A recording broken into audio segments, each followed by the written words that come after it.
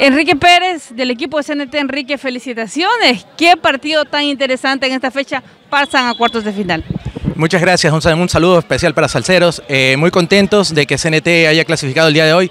Fue un gran partido, realmente el triunfo se nos puso complicado, íbamos perdiendo, pero al final, gracias a Dios, se dieron los resultados. Rival difícil, ¿no? En la cancha, rival difícil porque ahora el que pierde automáticamente se queda en muerta súbita.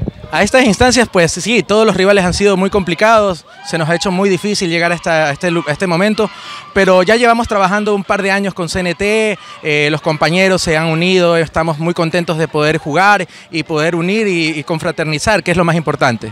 Tremenda barra que tienen ustedes, oiga, desde el que inició el partido, directoras técnicas afuera. Sí, la verdad que tenemos una barra que todo el mundo podía envidiar, pero estamos muy contentos gracias a ellos. Este triunfo se lo dedicamos a toda la gente, a toda la familia, a todos los amigos que nos han venido a apoyar el día de hoy. Y bueno, y gracias a ustedes por estar aquí. Ahora esperar el siguiente rival también. Sí, no, bueno, todos los rivales creo que sí van a estar más complicados que el que tuvimos.